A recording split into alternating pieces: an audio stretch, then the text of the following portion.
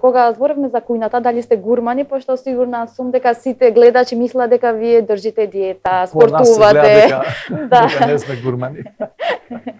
да, сакаме да каснеме. Она што е интересно за Стево што а, никогаш не му е битна храната во смисла како е спремена, како никогаш не замерил за тоа што сум го спремила.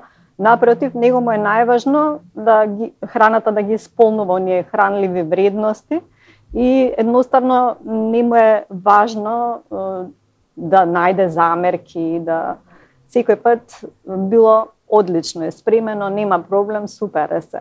Тоа го немаат многу мажи. Да, да. Сите знаат да не ми е да. битно на која локација е понудена Да. храната. Битно ми е да е да, да сме заедно. За мене храната представува мотив да се собереме заедно и да направиме море. Не ми треба да бидам некој ексклузивен ресторан, па да кажем или брендирам некој ресторан, па да кажем кај сме биле на ручек или на вечера. Битно ми е да сум со луѓе кои ги кои ги сакам и кои ги почитам.